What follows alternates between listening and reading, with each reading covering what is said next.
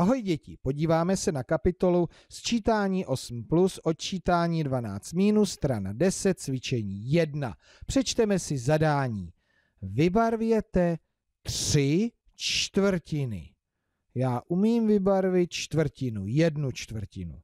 Tři čtvrtiny, Matýsek mi tady radí. Aha, to jsou tři stejné části. Jedna čtvrtina to byla jedna stejná část ze čtyř a tady to jsou dvě, tři. Vybarvil jsem tři čtvrtiny. Tak zkusím u obdelníku. Jedna čtvrtina, druhá čtvrtina, je, teď já jsem vybarvil polovinu, no nevadí. Třetí čtvrtina. Ještě vybarvím tři čtvrtiny kruhu. Jeden, dva, tři čtvrtiny. I u hodin mohu vybarvit tři čtvrtiny. Jeden, dva, tři.